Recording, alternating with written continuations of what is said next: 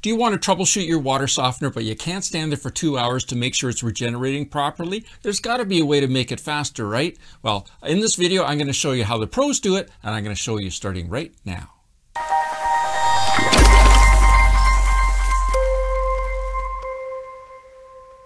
Hi, I'm Gary the Water Guy, and I simplify water filtration to help you conquer crappy water for your family. The simplest way to confirm that your water softener is regenerating properly and goes through its cycles properly is put it through a regeneration cycle and observe what's happening in the first few minutes.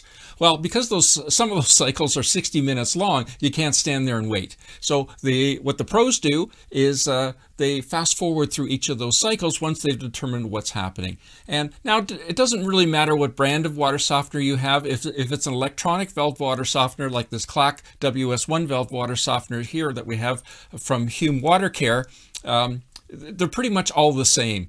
So to start a regeneration cycle, you press, you find the regen button, which is up here, press it down and hold it for about five seconds. After five seconds, you'll hear the motor start up, just like that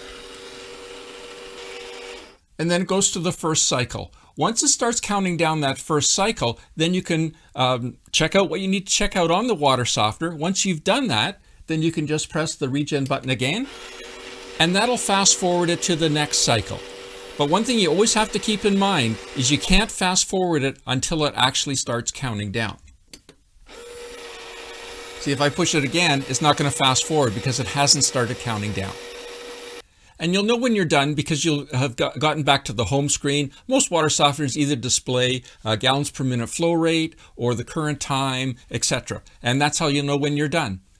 If you have an older water softener with a mechanical valve on it, like this uh, Fleck 5600, all you do is just take this lever in the center, you just turn it, and then it'll it'll start the regeneration cycle. But the fast forward is simple. You just keep turning it until you get to the cycles you want.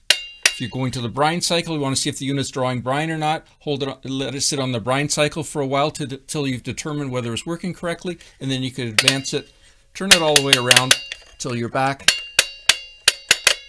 in the window up here that shows service, and you're done. To learn more about water softener troubleshooting, just click up here, and it'll take you to my next video, and I'll see you there.